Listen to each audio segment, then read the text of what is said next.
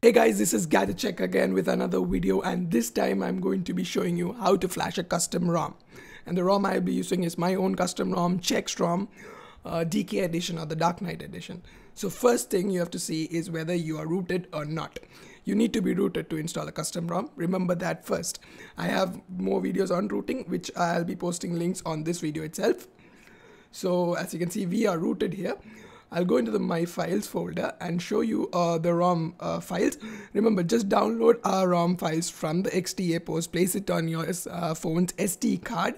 Once that's done, use the three button combo, up, uh, volume rocker up, power button and the home menu button and get into the ClockworkMod recovery.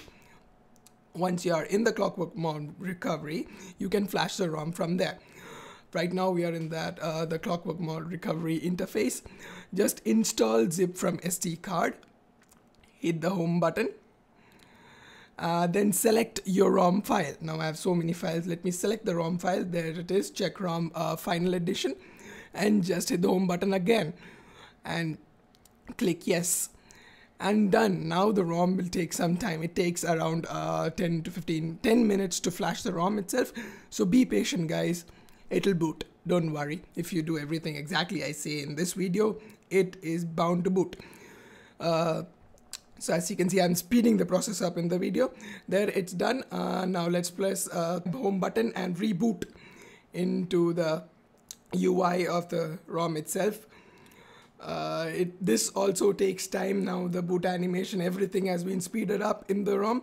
The first boot will take time 10 6 15 minutes not sure how much it will take. I've never counted it, but then 10 minutes should do it. So once the final boot is done, uh, you'll be uh, right here. Now this is a full wipe edition of the ROM.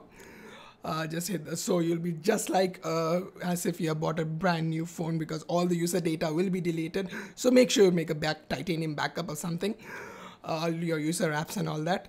So there is the ROM itself. Let me reduce the brightness first, otherwise you guys won't be able to see anything.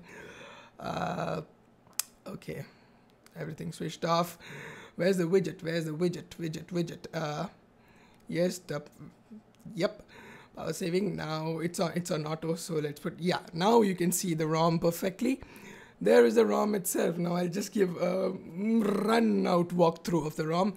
Uh, I don't have much time. I have like many other videos to complete today itself so that I can post it uh, online. Uh, there's ordinary dialer wrap. You can use our AOSP uh, advanced edition theme for a full screen dialer. I'll have more videos on that too.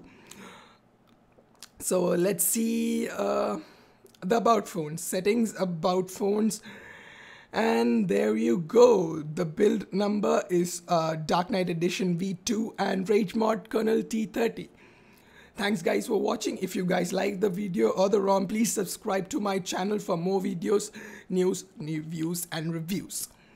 See you guys in the next video.